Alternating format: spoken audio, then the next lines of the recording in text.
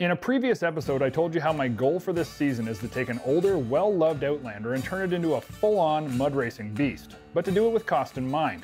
After we stripped the old Audi down to the bare frame, we knew that we had good bones, but to truly perform in the mud, a nearly 10-year-old, 8,000-mile 800cc Rotax V-twin just wasn't going to get her done.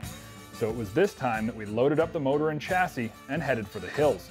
A trek across one province, five states, and 1,150 miles would ultimately bring us to the place where an old engine can see new life, and where performance is not just a word, it's a state of mind.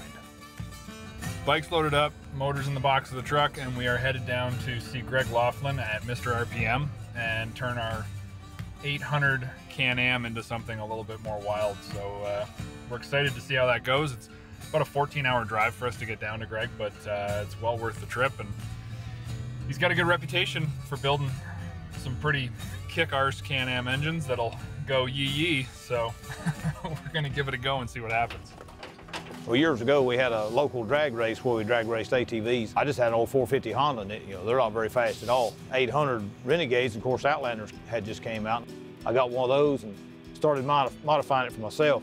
First thing was clutch kit, tuner. Next thing is I just went with a turbo and a dedicated ECU. And then came big bore and you know better clutches. And at the time, there were no good clutches like a, a full billet like STM or QSC maybe. So at the time, we just had to play with stock clutches. And years ago, we had, uh, first thing we done was modify old Kawasaki uh, Comet clutches. Remachine them so that they would fit the Can-Am taper. And it worked good, but it's, it ain't nothing to what we got now. We just, you can just buy parts off the shelf, bolt them on, and make power. It's real easy, but that's what, that's kind of what got me started you know, just messing with my own stuff. And once I got a lot of stuff figured out, making cams and all that, you know, shoot, we just went to selling it to people. So it made a good market kind of for ourselves. Greg is really passionate about performance, and you can tell that these motors are second nature to him. It's never a question of what size socket or Torx bit, he just grabs it and goes. If you have the motor out of your Can-Am ATV, he can have it torn completely down. I'm talking ready for reassembly in under 30 minutes. You know, this is an 800 Can-Am. You know, this is an Outlander. Of course, it fits all Renegades too. But we have a few kits for the 800. We have the stock 800 rebuild kit. We have the 860, which is a 94 millimeter version of the stock piston. And then, of course, we have the 975. Had the 975 for a long time. Uh, works good. It's forged pistons. Good for spray or full race versions. Maybe turbo or something like that. Uh, but the 860 kit is a, a, a real good value bang for the buck. It's got uh, stock style cast pistons, not much more than factory as far as price. Gives you a real good bang for the buck as opposed to the 975. Give you a little bit more displacement than the stock 800 kit and a little bit more compression and hardly no more money, really. So that's that's why I went with that on this. We could have went with a 975, but you're not gonna spray it or nothing, so there's really no need.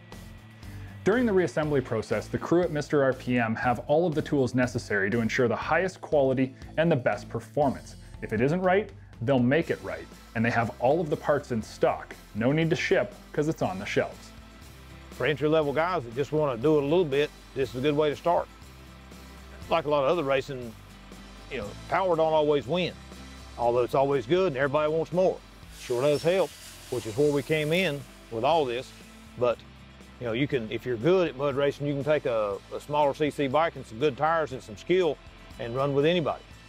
You know, if you mess it up, you're not, you're not destroying a great big, you know, $18,000 XMR. You've got a relatively inexpensive older machine. With the motor on its way back together, my excitement for dyno testing was getting pretty high, but there were a few custom adjustments that we'd need to make before we got this thing to that point.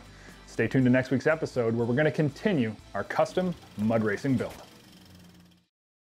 This segment is just the start for you.